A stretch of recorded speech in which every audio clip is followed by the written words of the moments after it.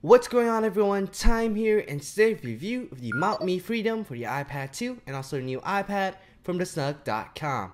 Inside the package you get 4 suction cups to stick it on the wall and then attach your iPad to the mount. And you also get this strap right here which is used to strap around the car and you can just hang your iPad on there. And here we get 4 screws to screw it on your wall and attach your iPad to the wall. And we get the case of the iPad itself. Now taking a look around the case here we have cut for all the ports, the camera, the volume rockers, and the silent switch. At the bottom we have cut for the dock connector and also the speaker as well. So now to attach the suction cup to the iPad case, basically you have this lock mechanism right here. Let's go ahead and plug this thing right to there and just push it down forward and then twist it to the right side.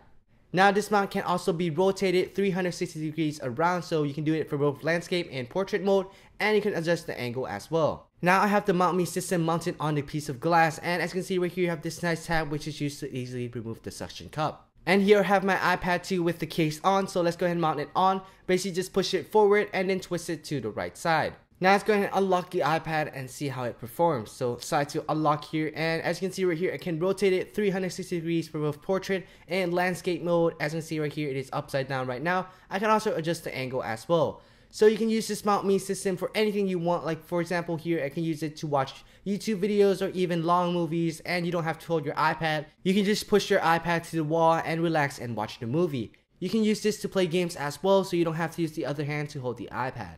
Overall, this is a very useful product. You can use it for presentation, for gaming, watching videos, for entertainment, do whatever you want with it and have your hand free.